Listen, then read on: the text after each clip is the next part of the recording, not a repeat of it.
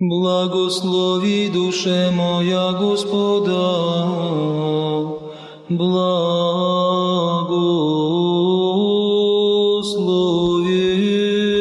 еси, Господи.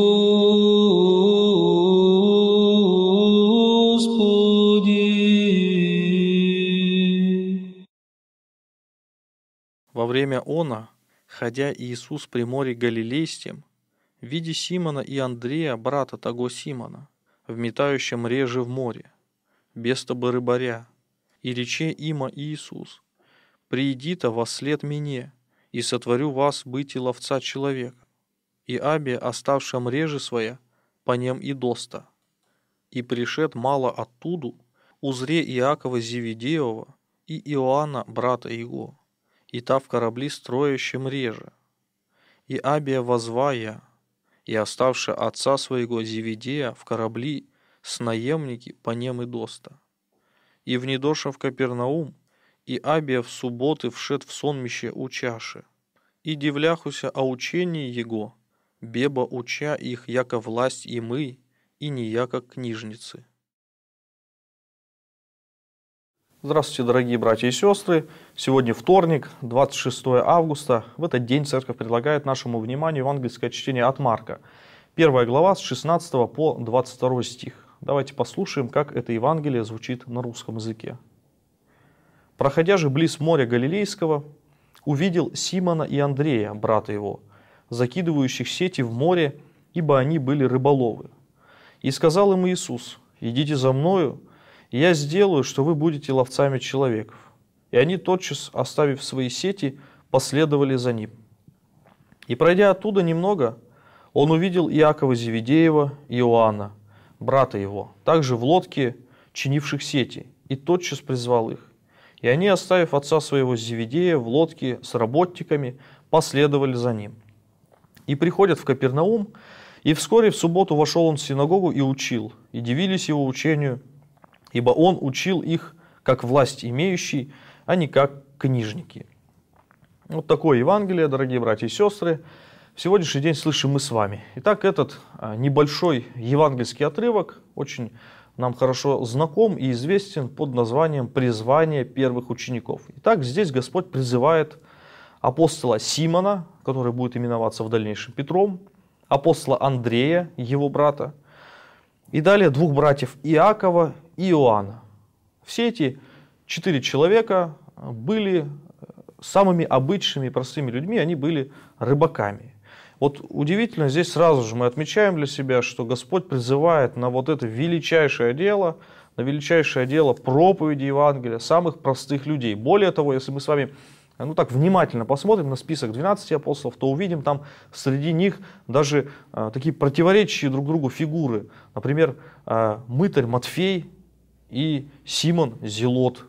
Симон, тот, который которого именуют зелотом, да, это та партия, которая была в Палестине, партия зелотов, таких сверхпатриотов, готовых пролить свою кровь э, и все что угодно сделать ради э, своей веры, ради своей нации. И вот Матфей, который был мытарь, э, собственно, сборщик налогов, по большому счету, в лице всех, каждого иудея, предатель, а, вот два таких совершенно противоположных человека объединяются вместе. Если бы они не были объединены Христом, попросту а, остолкнулись бы где-нибудь а, вместе, ну, это бы закончилось трагедией для одного из них. Ну вот, опять же, обращаем наше внимание на этих первых четырех апостолов Симона, то есть Петра, Андрея, Якова и Иоанна. Они были рыбаками, и их Господь призывает в самое, что может быть даже, так сказать, э, не самое простое для них время. То есть это призвание не совершается где-то в храме, это призвание не совершается где-то а, в уединенной молитве. Это призвание совершается тогда, когда они попросту выполняли свои самые обычные, самые простые дела. Одни чинили сети, другие закидывали эти сети в море и ловили рыбу. И вот здесь так неожиданно появляется Господь и говорит, следуйте за мной, я вас сделаю ловцами человека. Вот для нас, э, какой мы вывод должны сделать для себя? В том, что Господь так действует в нашем мире, в нашей жизни, что для этого, может быть, даже и не требуется поисков каких-то сверхъестественных явлений. Господь нас может призывать через самые обычные, простые вещи, через самых обычных и простых людей, которые в нашей жизни попадаются.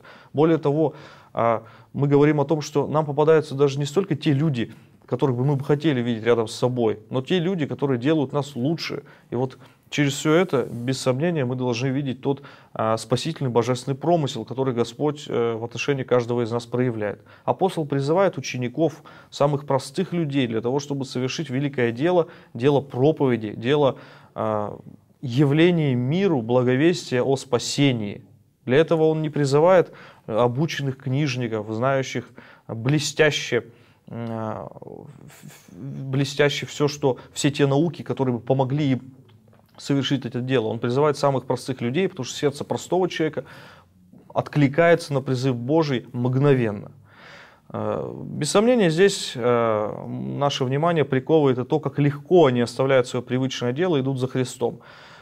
По-видимому, они слышали и видели Христа, но вот здесь вот их реакция для нас становится без сомнения, примером, да, как легко они откликаются на призыв Божий. Они не рассуждают и не думают о том, а, что от них потребуется или какая участь их ожидает. Ведь это только начало пути Христова, хотя и после он будет очень много говорить о своих страданиях и о страданиях тех, кто следует за ним, потому что те же будут, он говорит, гонимы, преследуемы, там, убиваемы, а, но вот вы будете наследовать Царство Небесное. Но это их не останавливает.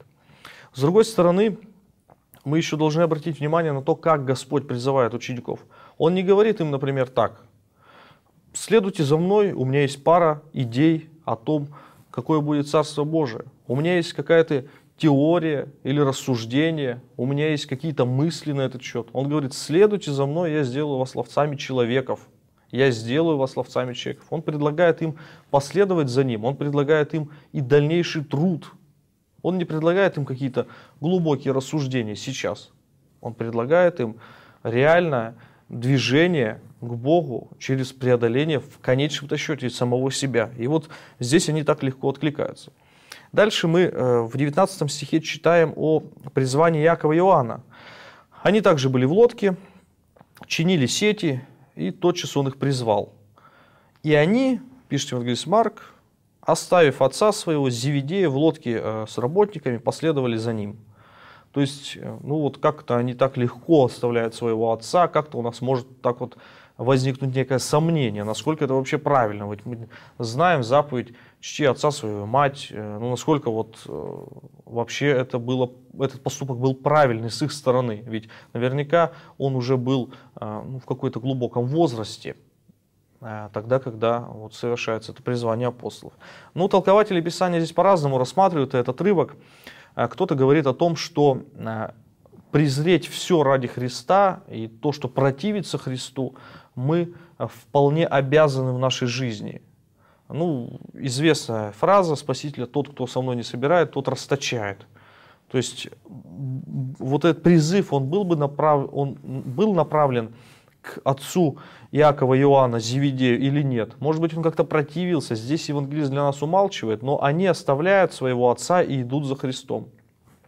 Знали ли они, что этот призыв будет длиною во всю их оставшуюся жизнь или нет? Но они оставляют это все и идут за Христом.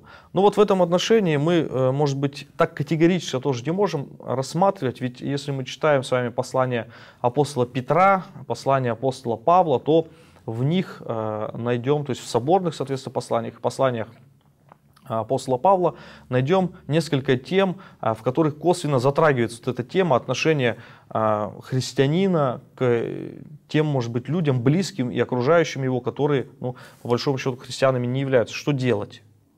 А, и это назидание, которое делают два апостола, апостол Петр и апостол Павел в своих посланиях, они обращены к семьям. Тогда, когда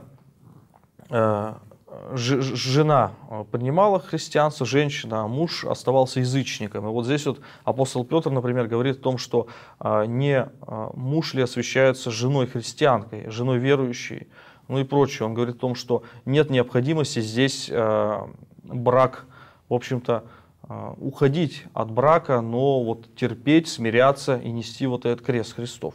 То есть, иными словами, мы вот так однозначно э, этот момент, э, который указан здесь в Священном Писании, рассмотреть не можем. Сказать о том, что поступили они таким образом, ибо Зеведей, то есть их отец, э, препятствовал им или выражал какое-то негодование, они, бросив его старца да, в лодке, уходят, идут за Христом. В общем-то, здесь не так, но, тем не менее, многие толкователи Писания как раз и говорят об этом, о том, что мы принципе, все, что нам мешает э, двигаться ко Христу, можем в этом мире оставить. И приходил в Капернаум, и вскоре в субботу вошел он в синагогу и учил. И дивились его учению, ибо он учил их, как власть имеющий, а не как книжники. Книжники, конечно, учили на основании э, закона, учили на основании известных высказываний, цитат известных раввинов. И вот, может быть, на фоне такой, такого рассказа книжников, такого обращения к народу, а, слово Спасителя поистине выглядело как власть имеющий. То есть он говорил от самого себя, ибо он и был сын истинный, сын и есть истинный сын Божий. Вот такой евангельский отрывок, дорогие братья и сестры. В сегодняшний день слышим мы с вами. Мы читали Евангелие от Марка, первую главу с 16 по 22 стих. Но я с вами на этом сегодня прощаюсь. Всего вам доброго, до новых встреч и храни вас Господь.